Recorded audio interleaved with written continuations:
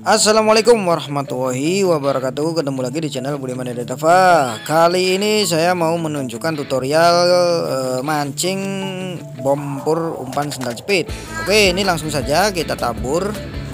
Ya kita kita tabur di pinggir aja Agar supaya nanti tahu kalau ikan mulai datang ya. Oke kita tabur secukupnya banyak lebih bagus ya. Kita tunggu sampai ikan benar-benar datang. Oke coba kita zoom. Ya itu ikan sudah mulai datang ya.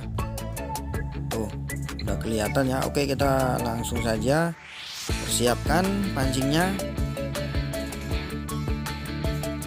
Oke untuk kail saya menggunakan uh, kail Daichi nomor 3 ya ya bisa disesuaikan sama ukuran ikan. Untuk merek kail bebas namun menurut saya rekomendasi dari saya sih merek Daichi ya.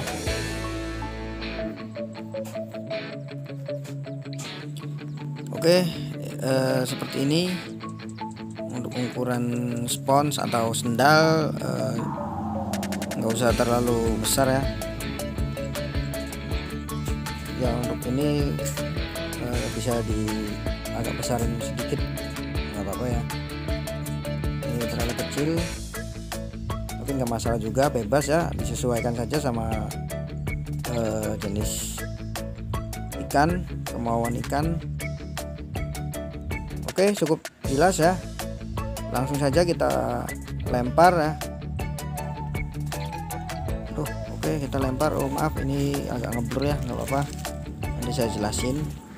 Uh, untuk melempar kail atau umpan sendalnya kita lempar uh, kurang lebihnya bisa setengah meter atau satu meter dari kompor tadi ya.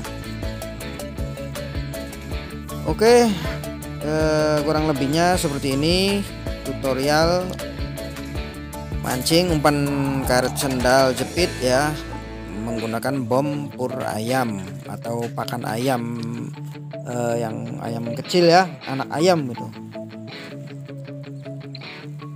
Oke langsung saja kita tunggu uh, hasilnya uh, biasanya kalau saya lakukan sendiri ketika sudah melempar dan sudah dipastikan ada ikan kita lempar lagi ya agak ke tengah sedikit. Karena biasanya ikan yang besar atau yang babon itu ada agak ke tengah sedikit ya. Oke seperti itu yang saya lakukan setiap mancing. Alhamdulillah jarang boncos ya. Oke kita tunggu Oke mulai dimakan ya. Langsung saja strike ya.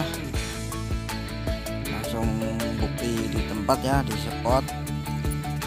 Oh, rupanya ini eh, bukan tawes ya namun sirip merah atau lalawak ya.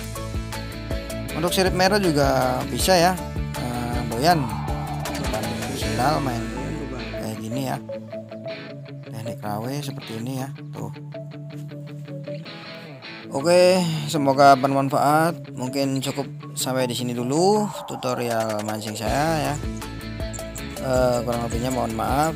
Jangan lupa like, comment, and subscribe-nya di channel Budiman Dava. Oke, wabillahi taufiq hidayah. Assalamualaikum warahmatullahi wabarakatuh. Selamat mencoba.